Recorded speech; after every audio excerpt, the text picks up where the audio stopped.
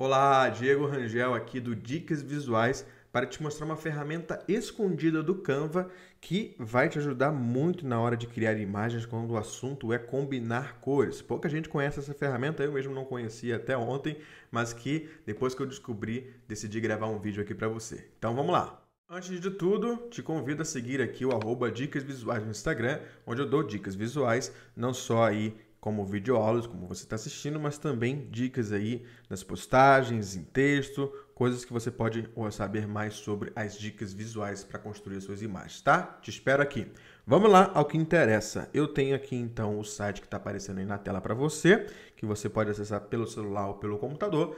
E, enfim, a gente acaba tendo essa ferramenta que, na verdade, tem aqui dentro do Colors, do Canva, ele tem aqui quatro ferramentas até o momento da gravação desse vídeo escondidas sobre cores. Eu estou dizendo escondidas porque eu até hoje nunca vi, já conheço o Canva já há bastante tempo, alguns anos, na verdade, e nunca vi essas ferramentas sendo divulgadas. O que a gente vai usar aqui embaixo é o Color Wheel, né? a roda de cores bastante conhecida para quem estuda teoria de cores. Então, há uma dica extra aí que eu peço para que você, principalmente se você é meu aluno dos treinamentos, como vocês já sabem, é estudar um pouquinho mais sobre é, roda de cores, né? A, a, psicologia das cores também, se você gostar um pouco mais de significado, enfim. A, só a roda de cores já dá um bom norte assim na hora de você combinar as cores. E o Canva aqui tem, de fato, essa ferramenta que eu adorei. De novo, eu não conhecia, passei a conhecer recentemente e vou usar certamente aqui nos próximos dias, né, para criar os meus designs no Canva.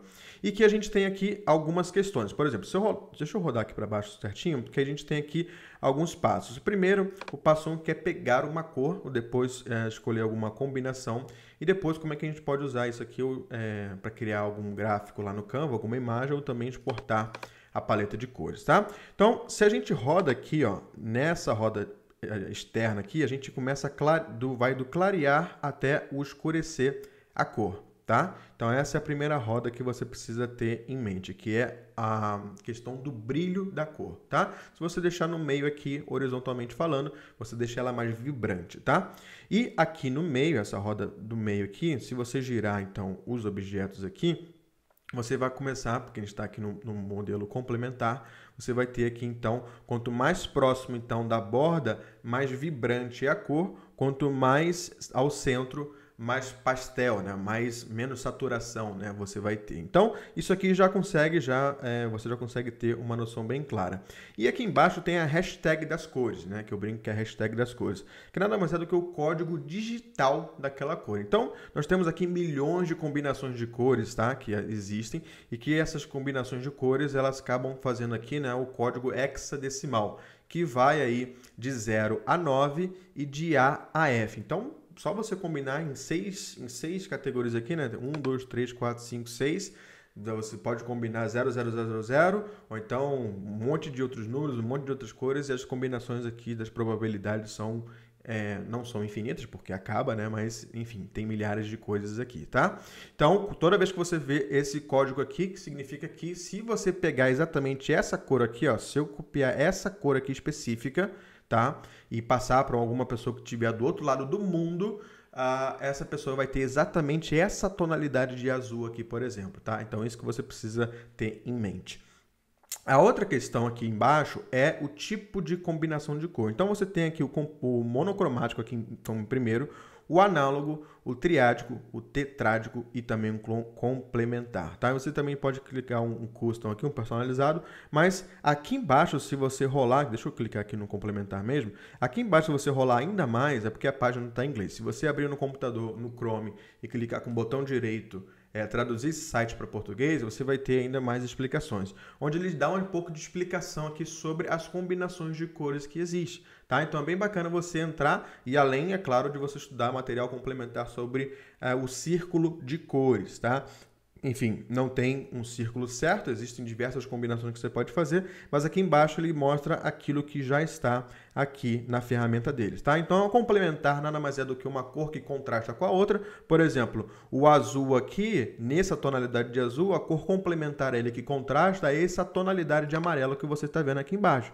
Se eu colocar aqui essa tonalidade de verde aqui, já é esse magenta aqui, que é, fica bem mangueira aí, Carnaval Rio 2019, tá? Então, é bem interessante você ver aqui embaixo a combinação de cor, aquilo que mais se adequa a você.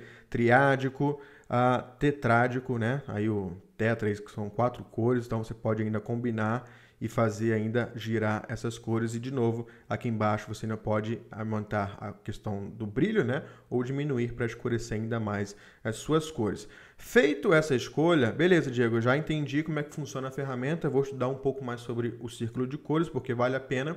E aqui embaixo eu tenho duas opções, que é exportar a paleta ou criar um gráfico. Eu vou primeiro clicar aqui no exportar paleta, e aí aqui em cima, ó, ele vai me dar as opções aqui da paleta de cores que eu já coloquei e tem aqui a opção de PDF. Se eu clicar aqui no PDF, ele já vai abrir aqui, pelo menos no iPhone, essa opção do arquivo, né, da página da paleta de cores. Se eu fazer o um movimento de pinça aqui nesse arquivo, ele vai abrir então a opção de eu clicar aqui em cima e salvar essa imagem aqui, ó, salvar em arquivos, por exemplo. Se eu clicar aqui, já posso salvar aqui no meu iPhone mesmo, ou no iCloud Drive aqui em cima, clicar em adicionar. Pronto, ele já vai salvar essa página aqui, então eu estou vendo aqui ó, que tem o código hexadecimal desse verde, tem o RGB e tem o CMYK aqui, tá? O hexadecimal é o digital, o RGB também é o digital, mas é mais usado aí para telas, coisas assim, e o CMYK é para cor de impressão. Então se você quiser passar aí para as pessoas que vão imprimir algum arquivo seu e tem a sua paleta de cores,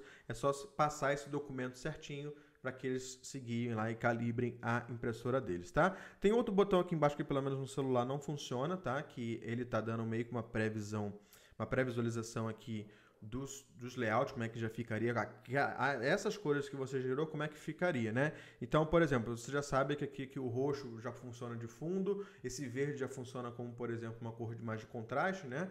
E os outros dois aqui mais complementares. Então, isso que você precisa ter de noção. Como é que eu posso usar essas cores? O Canva já te mostra na, na cara, né? Como é que funcionaria, por exemplo, um poster, uma postagem aqui de, de rede social, uns slides. Mas enfim, aqui em cima, quando você clica em voltar, aqui embaixo você tem a opção de criar um gráfico. E quando você clica aqui Create a Graphic, ele vai abrir aqui o modelo, os modelos do Canva, tá? Tem um outro vídeo falando só sobre modelos do Canva, como é que você ah, pesquisa aqui os modelos. Mas vamos supor que você quer pegar, por exemplo, esse modelo aqui. Ó. Vou clicar nele aqui, vou tocar e aqui clicar nesse botão Use this template, mudar esse modelo. E aí aqui ele vai abrir então o aplicativo do Canva, você tem que ter o aplicativo no Canva no celular, se você tiver no computador ele já vai abrir no próprio computador. E vamos supor que você queira é, personalizar essa imagem aqui com aquelas cores, né?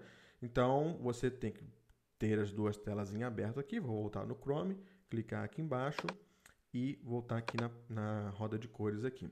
Eu já tenho aqui essas cores, ó. Uma coisa interessante é que se eu tocar em cada cor dessa especificamente, ó, quero tocar só no roxo, eu ainda posso é, editar ainda somente essa cor aqui específica. Então, deixá-la um pouco mais escura, aumentar um pouco mais a vibrância dela ou tirar um pouco a saturação. Eu ainda posso mudar ela aqui, por exemplo, de posição aqui. Não, eu quero que ela fique, por exemplo, mais para o lado ainda do rosa aqui, por exemplo. Não, quero que ela fique mais para o lado do roxo. Então, eu consigo editar ela aqui, tá?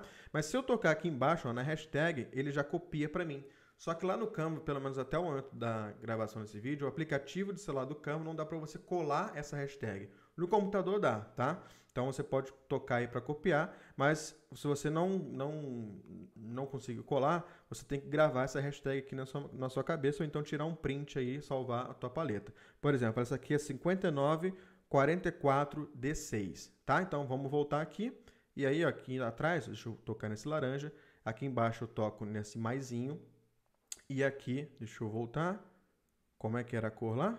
5944D6. Então, 5944D6. E aí dou um pronto aqui embaixo, tá? E aí, beleza, vou começar a editar o meu gráfico aqui agora com essa tonalidade de cor aqui. Ah, se eu quiser salvar, eu só tirar um print então de tela aqui e pronto. Deixei aí já uma paleta de cores pronta para é, fazer as minhas combinações, minhas postagens, minhas imagens. Todas as imagens agora que eu for colocar, vai ter sempre essa paleta de cores aí. Beleza? Gostou dessa dica? Deixe aí seu comentário, seja no YouTube, Facebook, Instagram, qualquer outra plataforma de vídeos. Compartilhe, envie isso aqui para outras pessoas, essa sacada, essa ferramenta incrível do Canva que dá para criar muita coisa e eu te vejo no próximo conteúdo. Até lá!